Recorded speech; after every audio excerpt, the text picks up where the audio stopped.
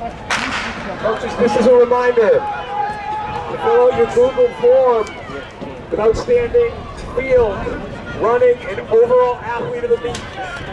Outstanding field, running, and overall athlete of the meet. We'll take those nominations up to the start of the relays.